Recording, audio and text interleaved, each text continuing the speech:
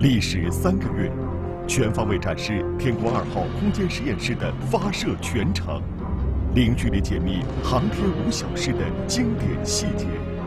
军事纪实记者走进酒泉卫星发射中心，探寻中国航天人的追梦之旅。挫折、压力、难题，他们如何应对？又如何在挑战中再创辉煌？军事纪实本期播出，《圆梦天宫》第二集。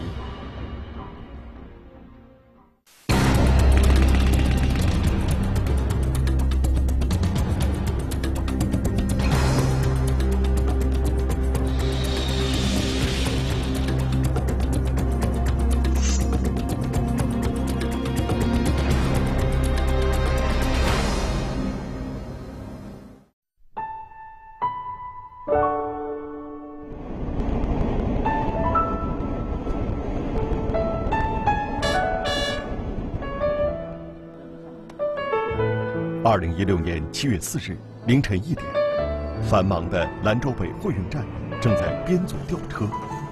年轻的车长纪晓俊坐在自己的车下，向同行记者追忆起几年前的一段往事。他说那一次我们，我就发现就听出来了，他听出来我就立马出去了，嗯，他就掏了五百五百块钱吧，掏了五百块钱就贿赂我，就是你们你们的钱干啥？你们你们继续三十吧。呃，去吃吃喝喝，这个事我给你解决了。但是我我想也没想，呃，我就领导汇报了。一个是啥呢？呃，一个是性质问题。然而，谁都没有想到，最让纪晓军担心列车被撞的事情，却在说话的功夫，再度在眼前上演了。车都晃起来了，晃起来了。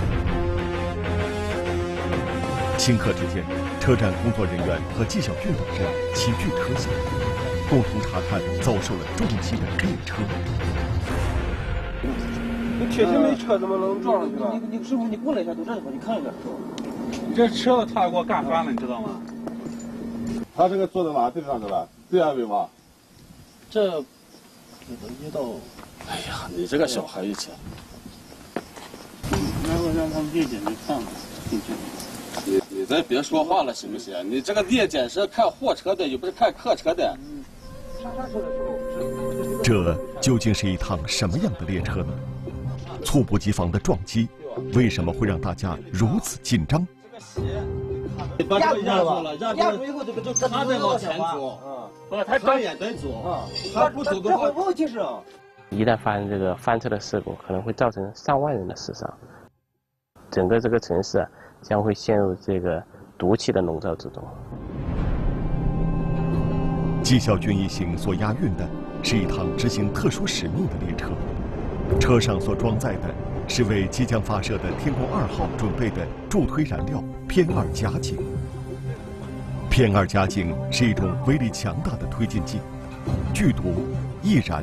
易爆、强腐蚀，特殊的化学物质给它的运输、保管和储存带来了一系列困难和风险，也使得纪晓军一行在提运的每一个环节都小心翼翼，如履薄冰。二十几天前，按照航天任务的发射进程，酒泉卫星发射中心特展供应站的三名押运员纪晓军、赞学良和马涛。来到南方某省，为天宫二号空间实验室提运燃料。有着十二年押运经验的纪晓俊，担纲了本次特装押运的车长。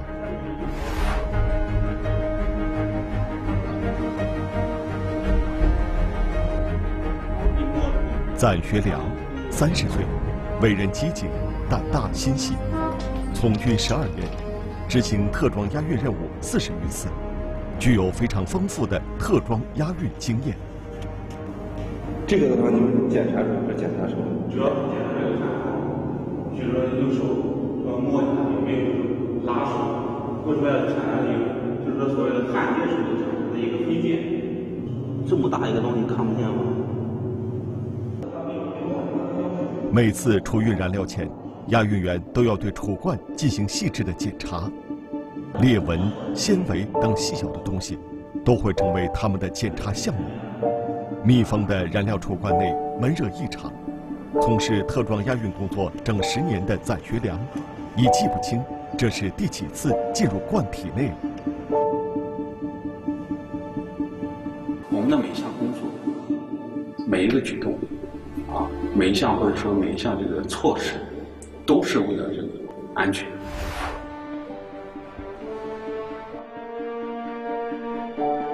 航天是一门高精尖科技，任何一个环节都不能出现丝毫差错。检查完储罐，经验丰富的载学良坚持要求厂家更换转注管过滤器，检查转注管道是否干净。二零一二年，在为神舟九号提运燃料时，就是这个毫不起眼的小部件，曾令载学良费尽周折。但是随着第一车还算正常，等到第二车的时候。就是时间就变成三十分钟，然后第三车的时候就变成每车就变成三十五分钟，所以说它一车时间比一车时间长。那么我们用的压力都是一样的，采用的方法也是一样的，流程也是一样。那么就是说，就通过这这一个时间的一个变化，就会就是说我当时产生一个疑问，但一个疑问你就是说为什么每次时间就是往后往后递延？最后打开一看，在那个整个过滤网上密密麻麻的一层，有这个。机械杂质，黑色，你看就是机械在摩擦过程产生的机械杂质。载人航天对火箭的要求极高，故障率必须控制在千分之三以内。如果火箭使用了这种带杂质的燃料，发动机极易出现故障，造成发射失败。载学良不得不改变既定的行程，待在厂家清洗车罐。吃一堑长一智，正是有了四年前的惨痛经历。这一次，赞学良坚持要求厂家在转注前更换转注过滤网，并对转注管道做细致的检查。那喷在上面，所以过一层，往后两层，嗯，给你搞三四层，倒倒进去，好吧？嗯，没有。一切检查正常。如同清水般清澈透亮的偏二甲肼，才能转入槽车。偏二甲肼剧毒，吸入后容易对心肺功能产生致命性影响，所以转入工作必须要有防护服的保护。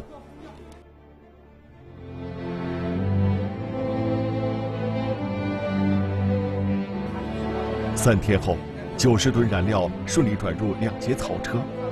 押运手续也已从军代处办妥，只等着火车站的发车通知。在等待发车的间隙，纪晓俊和载学良对车辆设备做了最后一次详尽的检查。他们要排查处理掉一切故障，以防不测。马涛是一名入伍才两年的新兵，这是他第一次外出执行任务。尽管热情好学。但押运的很多经验都需要两位老兵手把手的教导，以老带新一直是特装押运工作中的一大传统。包括这块啊，大概看一下，这个单体有就那个气管然后这块就看我。酒泉卫星发射中心特燃供应站。是中国航天系统唯一的一个特种燃料储运周转中心，担负着为酒泉、西昌、太原、海南四大发射场提供火箭燃料的任务，押运业务非常频繁。就在纪晓军的车辆即将启程的头一天，厂家迎来了酒泉卫星发射中心的另一组押运人员。几个月未曾谋面的几位战友，在饭桌前一坐。气氛立即变得活跃起来。我这个当兵十二年，我光在铁路上过年四次，在那个基地过了一次、两次，然后完之后这个在青海厂家还过一次，看着味儿特别繁华，知道吗？因为那西宁嘛，毕竟还是省会。轻松的气氛感染着每一个人，就连平时不善言辞的纪晓俊，也变得话多起来。逼你休一次假不容易，一年也就那那一个多月假，这陪同的时间也少。我们作为军人是吧，就是一年也就一次假，陪同的时间本来就少。但是你突然接到一电话来，他逼的有点委屈，媳妇把我送过去，站到车站，我有时候一回头，哭哭啼啼的，但是我也心里难受，我也坐到车，有时候我的眼泪就下来了。那没办法，你把他逼的，我们干到这方面。确实是有点有有点什么。二零一六年六月二十九日，装载着九十多吨燃料的特装列车，从南方某厂家出发，进入纵横交织的铁道网。纪晓军预计，他们至少得用一周的时间才能抵达目的地，走完全部六千公里的路程。由静止到运行。列车上的各种装备都会发生变化，加上燃料在储罐中是用高纯氮加压保护的，车辆的晃动更容易让阀门松动、螺帽脱落、裂纹加深。但特种燃料的押运必须绝对安全，一颗小螺帽的脱落都有可能引发泄漏甚至爆炸。纪晓俊和载学良要不时地对各种仪器设备进行检查。首先闻的，就是一闻二看三检查，啊，这我自己总结的。一闻闻就是有没有味儿。我们这个东西一旦泄露的话，它是能闻到味道的，这是第一个。第二，二看，看了？就看了这个，是吧？螺丝连接处、法兰、阀门啊，包括这个，就是这些阀芯儿这些部位，它是不是漏？啊，我们这个东西依然一漏的话，这个危险性系数就增加了。那么就检查看这上面之后，它要漏的话，它会有这个液体渗出来的感觉。啊，一摸之后，当然我们不能用直接用手去摸，是吧？要仔细观察。这块就第二个要看，第三个就检查，检查哪什么部位？就我刚才说的这些，啊，各个阀门该关的是不是要关上，是吧？该开的是不是打开了？啊，检查我们这个二 C 表这个。储罐的一个状态、吨位、温度、压力的一个变化情况。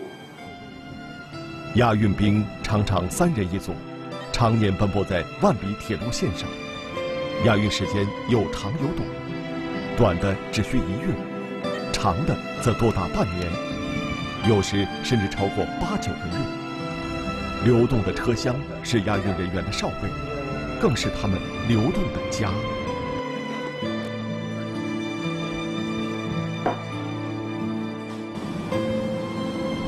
尽管一路上处处小心，但麻烦还是与他们不期而遇。特装车辆刚驶进某车站，铁路工作人员就找上门来。这个谁负责？我负责。你负责？有什么注意？我自己原来，铁路部门几天前才出台一则新的规定：客车的通风口一面不能和另一节车厢的闸盘面相连。纪晓军一行并不知道这一规定，但他们这样做有他们的考虑。考虑到这一点方面，这这是平的，这个是像要有两个那个啥，这个分一下一点。现在是三节车嘛？对啊，他说要中间要加一。打这个电话就可以了，说不加也可以，插个头也行。这个是我们在办手续的时候都是说，这个车组连挂或者节点分离的。我们这车里边你再加一个别的车。虽然站长也觉得车辆目前的编排方式并不影响行车安全，但因为下级有报告，上级有明文规定，他不能擅自做主。你到郑州那边去，还是把它扣下来。因为这个是都是钢筋细，对。你到分离了不好搞了，知道吧？咋搞的？你说说咋搞的？经过协调，生货车最终被编到两节货运槽车的后面，特装列车继续上路。漫长的押运路上，押运兵的吃、住、学习、娱乐全在车上，小小的空间就是他们的全部天地。常年奔波在渺无尽头的铁路线上，思念就会像雨后的竹笋一般疯狂生长。对于赞学良来说，押运途中的思念，可能永远都带着一份心酸和愧疚。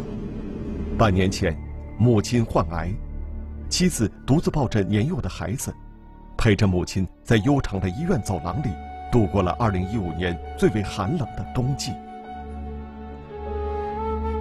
当时我就是说，心里感觉到特别酸楚一点，就是这个我媳妇儿当时带着孩子，带那个小孩，去年的小孩不到两岁，啊，完之后就陪他在医院，当时给我发一张照片，啊，就在医院的走廊里面，就抱着小孩睡着了，啊，那种感觉确实的，你是说我们人在外面，我们做一个押运员，不是说这个时间不是由你来把握，我当时我就看那个画面，啊，媳妇抱着孩子。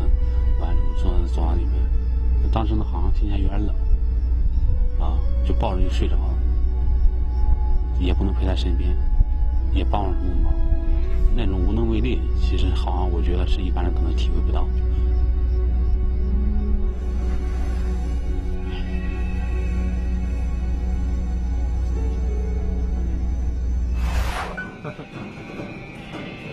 年轻的马涛才刚接触押运。他还不了解其间的甘苦，纪晓军和载学良都是老押运兵了，他们的准备相当充足，即便没有机会补充给养，他们剩余的米、面、水和土豆，也足以再维持整整一周。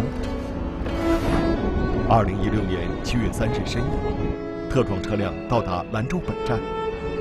兰州北站是一个规模较大的编组站，东进中原。西去新疆的货运列车停满了庞大的车场，西去的列车几乎全是在这里完成编组才上路的。兰州距离酒泉卫星发射中心行程不算太远。作为车长，纪晓军感觉胜利在望。正当他高兴地坐在清凉的夜风中接受采访时，节目开头所描述的撞车事件就猝不及防地发生了。当时我站在车下，然后就是说在那个车旁边，然后站着。那时候就已经感觉到这个声音非常非常大，啊，就感觉车就是晃了一下，完之后就是剧烈的左右摇晃了一下，就是说立马就是说我就心里头就是咯噔一下。我说这怎么吊车？怎么动静还这么大？那个铁锨我们这个通过后边用通过尺去量一下。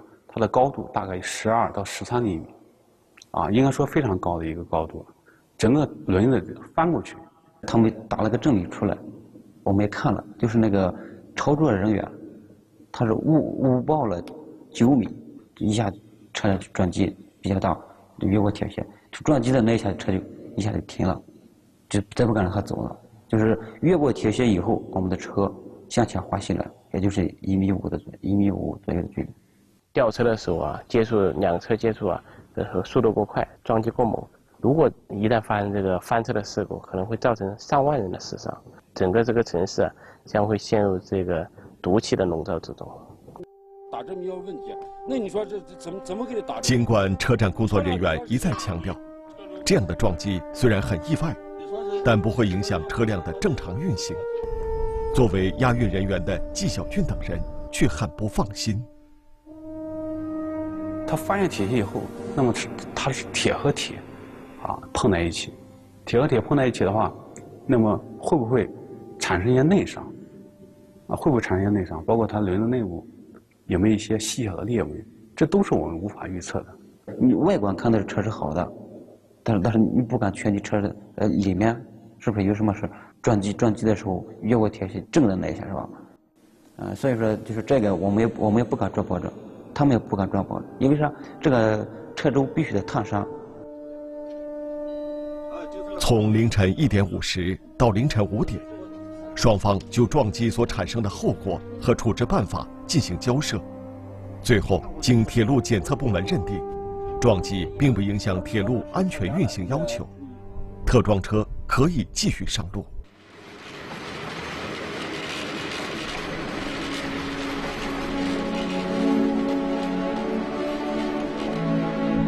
二零一六年七月六日，列车抵达距离酒泉卫星发射中心最近的一个车站。从这里开始，特装车将驶进全国唯一的一段军管铁路。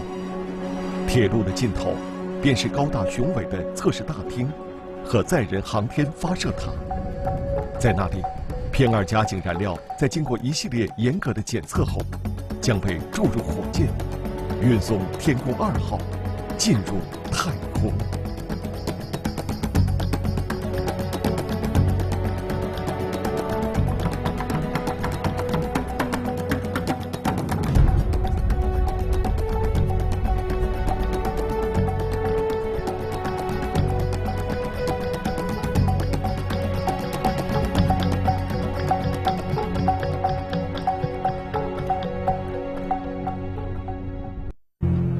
历时三个月，全方位展示天宫二号空间实验室的发射全程，零距离解密航天五小时的经典细节。